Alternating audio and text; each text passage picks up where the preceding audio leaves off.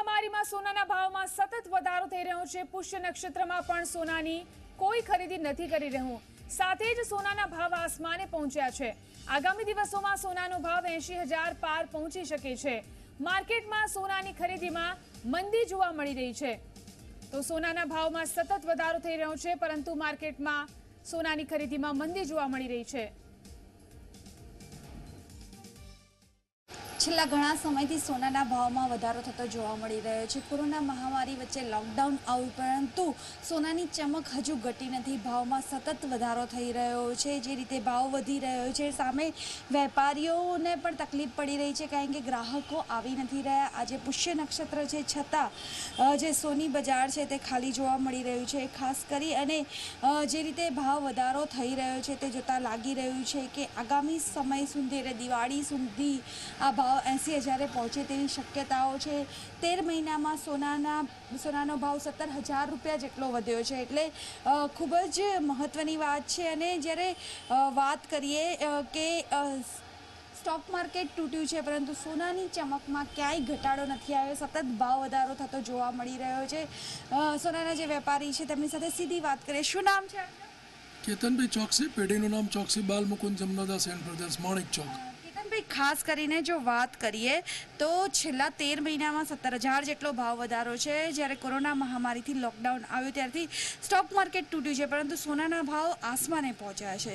કેટલો ભાવ છે આજનો ને કેવી રીતે વધી રહ્યા છે? ઇન્ટરનેશનલ માર્કેટ ઉપર છે સોના ચાંદીના ભાવ, અત્યારે કોરોનાની હિસાબે બહુ જ ભાવ ઇન્ટરનેશનલ બી વધતા રહે છે.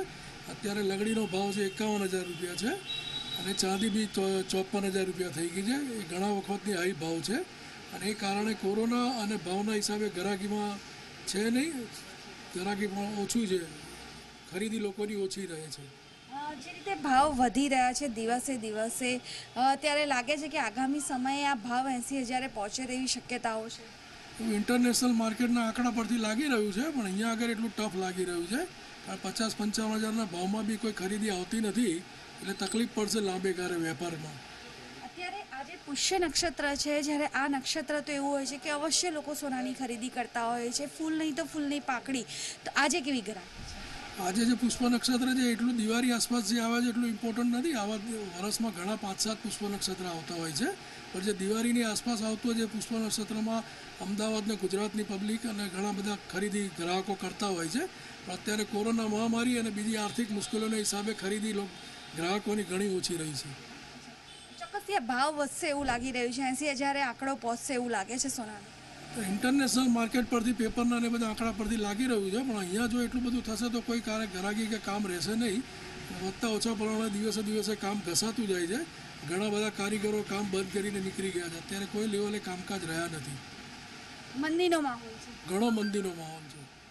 જોયું કે કેતનભાઈએ આપણી જોડે વાત કરી, એમાં સ્પષ્ટ કહી રહ્યા છે કે ભાવ વધશે તો માર્કેટ સાવ તૂટી જશે, કારણ કે અત્યારે હાલ જે ભાવ છે તેમાં પણ લોકો ખરીદી નથી કરી રહ્યા. જો દિવાળી સુધી એંસી હજારે ભાવ પહોંચ્યા, તો ગ્રાહક સાવ સોનું ખરીદવાનું બંધ કરી દેશે. અત્યારે ખરીદી કરતાં વેચાણ વધી ગયું છે. બીજી તરફ જે દ્રશ્યોમાં તમે જોઈ શકો છો કે ઇન્ટરનેશનલ માર્કેટના આધારે આ ભાવ છે એટલે જે રીતે સ્ટોક માર્કેટ ભલે તૂટ્યું હોય, પરંતુ સોનાની ચમક હજુ ઘટી નથી. ભાવ વધી રહ્યા છે. તેર મહિનામાં સત્તર હજાર જેટલો ભાવ વધારો થયો છે અને હજુ પણ દિવસે દિવસે ભાવ વધારો થઈ રહ્યો છે. કોરોના મહામારી એટલે આર્થિક મંદી અને ભાવ વધારાના કારણે જ્વેલર્સની જે વ્યવસાય છે તેમાં મંદીના વાદળો છવાયેલા છે. કેમેરામેન રવિ સાથે આશકા જાની અમદાવાદ.